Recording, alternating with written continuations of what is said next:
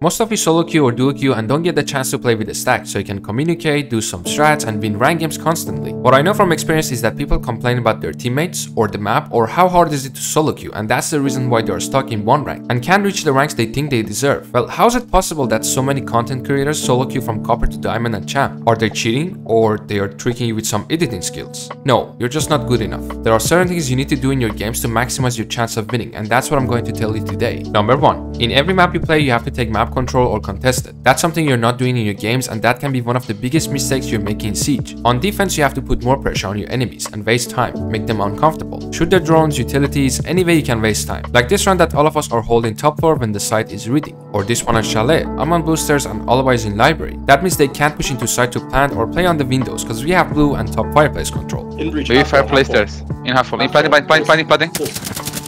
Nice. Nice, dead.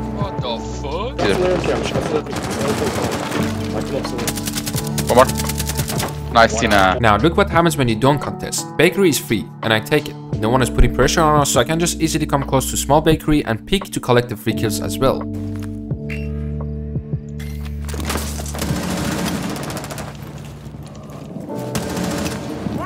On Coastline, we have control of Penthouse, VIP, Theater, and also Luggage and Aqua in 1 minute 30. I know what you're thinking, but in my games no one does that. Well, I don't care, do it alone. Just get into map as an attacker and hold it as a defender. I save my drone, I get in, drone again, and push. On defense, I get off side and hold where they can rush and take. I shoot some drones and fall back to site. What's the next thing you have to do in your solo queue games? On attack, have more intel, and on defense, deny it. In Siege, the more info you have, the higher your chance of winning is. Most of you lose your drone on attack and then you have a hard time attacking and taking map control, which is the first thing I mentioned. You see, most of the times I have a drone in pocket and the info I get is from the first drone I either had pre-placed or through the drone. On defense I play Solace usually, but Mute Mozzie works pretty well as well. However, don't forget you can use operators like Echo, Valkyrie, Legion to even have more info, so make sure to abuse them in rank anytime you can. Moving on to my next tip, and this is something I've talked about before. Get a lot of kills. You can be the one dying to a spawn kill or just the first one to die. Completely the opposite. Get the first 2-3 kills and then still try to stay alive. Don't sit on roof or in spawn getting impactless kills. No, that doesn't help.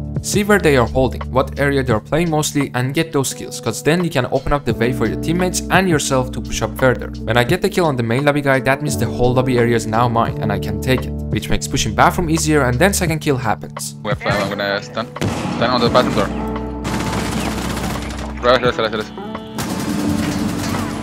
Kitchen, kitchen. Nice. Alright, next important part of solo queue, find the entry. Sometimes you see the enemy team is just all over the place and you have a hard time getting into map. Well, there are some few spots that they can enter the map and make your way to site. You just have to find it. In the beginning of the round, I check to see if there's a barbed wire on the main stairs and there's none. My team is pushing master side and that's good for me. The defenders are distracted to those guys because of the sound and gunshots. And no one is below or study side to hold me, except this guy on the hole which I droned him. So my point is, if you can't open the breach and you're just stuck, go somewhere else fast. Don't waste time. If you want to clear roamers and you see there are three guys holding that side, then leave it. Push side fast. Get the kills on side and then hold the flanks. Refragging is another tip especially to you solo queue players. Instead of baiting your teammates, refrag them. Play close to them. Always pay attention to where they are playing. If you're one of those guys that sit on side and complain about your teammates roaming all the time and dying, well, why not just play off them so you can bring back the man advantage? Just make sure you're not lining up with them. Stay a bit back and on the other angle so the enemy has to flick you basically and doesn't have the time to react for the second swing. Or go outside. Yeah, should be. No, no, oh, he's in the box, in the box, in the box, outside. Nice. Holy What else to higher up your chance of winning? Well, play the ops that are needed, but not always. If you need a hard breach to open up the wall, then bring Ace or Thermite. At the end of the day, if you can't open the wall, you can just push from somewhere else and shoot them without opening the wall. When I solo queue based on the map, the site, and the enemy playstyle, I choose my operator. So for top floor cafe, I bring Buck to open up hatches and to also open piano wall with my secondary breach gadget. On chalet basement attack, I play Zofia so I can burn ADSs and destroy Azami Kiba barriers because that's how people play these days. But imagine I pick an operator like Ash on cafe and Amaru on chalet. Well, there's no use for that and we probably lose the round. Or number 7, clutch more rounds. You already expect to lose your solo queue matches, so why not just expect 1v5s every round? Sometimes it's only 1v2 and to be honest, if you don't clutch these situations in gold, plat, emerald, even diamond, then you just have to accept you're not a good player. I don't know if you have watched my gameplay highlights, but I'm clutching a lot of rounds which leads to higher win rate and KD. Here are some tips on how to clutch more in Siege. First of all, don't panic. Start thinking about your positioning and what you want to do next. Go for the unexpected plays, something that the enemy is not expecting so you can surprise them. Don't make sound cause that's just free info for them. Check for drones around you and react quick.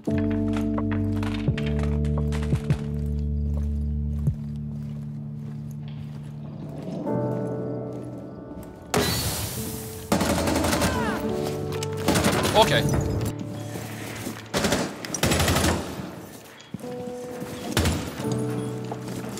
You want this? The defuser has been secured. Hmm.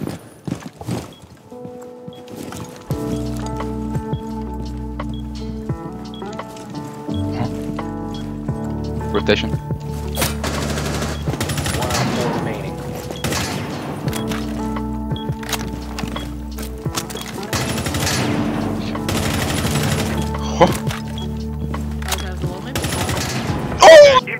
Uh, joining through the hole. First, John. Through the door hole.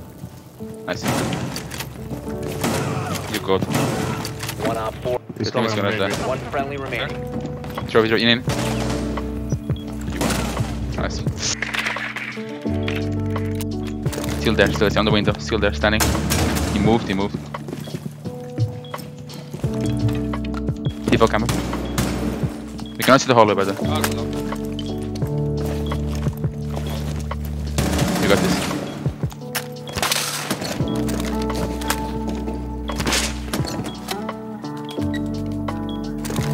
Right side, right side. You have a cam. Right side still not in, in, in, running.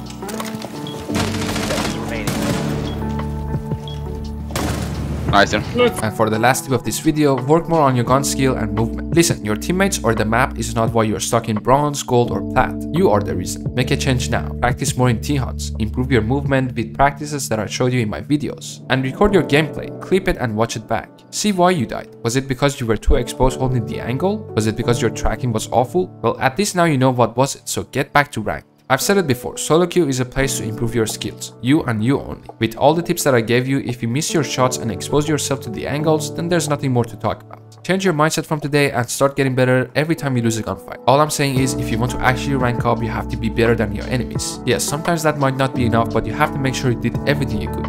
I have flank up for it, man. Guys, we trouble. No, we trouble. I'm gonna fuck all of you. One cellar door. Okay, one on you, uh, one there on you, one guy on me. Last on me. On the, on the bell, on the bell. He's gonna push me, he's gonna push me. Wait, I'm holding. Uh, go, go, go go, go in with you. go rotation, mine rotation. I'm in. Nice. And that's it for today's video. Hope this video was useful and helpful to you and you can actually implement these tips to your own gameplay. Don't forget to like and subscribe and I see you all in the next video.